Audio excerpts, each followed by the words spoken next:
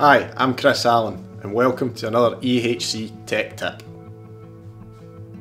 In this video we're going to look at servicing of an electric boiler.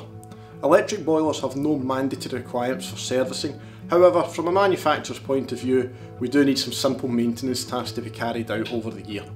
The boiler in question at the moment is the Fusion Comet system boiler, which will have an internal filter which requires to be cleaned and also an external filter of third party nature. On top of that we will then look to check the expansion vessel pressure and top that up to 1.5 bar and also check out just the electrical connections. So first of all we will look at the internal filter which is an inline YP strainer.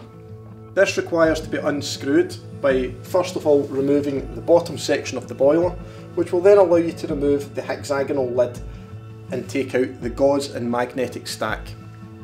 This can then be cleaned separate away from the boiler. Now that we've removed the filter from the boiler, we need to strip it down and clean it under a running tap to remove all contamination and debris which has been collected.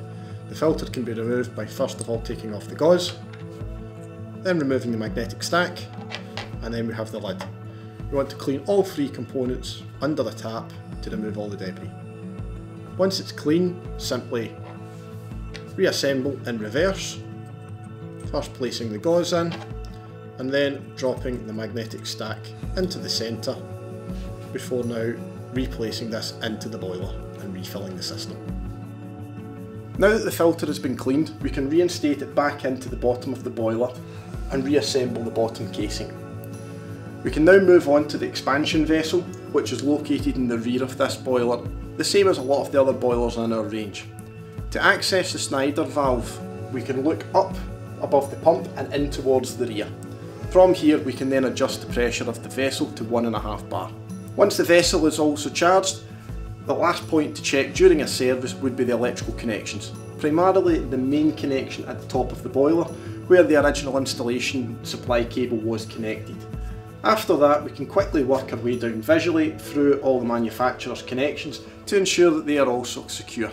Once these three points have covered, that is the general service of an electric boiler finished. Switch the boiler on, make sure the system is heating and have a good day.